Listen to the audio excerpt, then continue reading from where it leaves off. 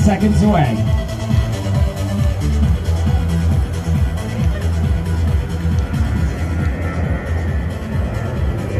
Okay, runners set.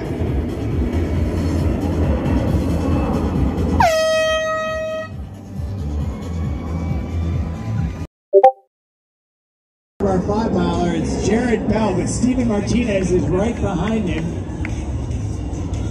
Jared Bell just fresh off the Houston Half Marathon last weekend, coming through in 25.20. Stephen Martinez right behind him, 25.22, first and second.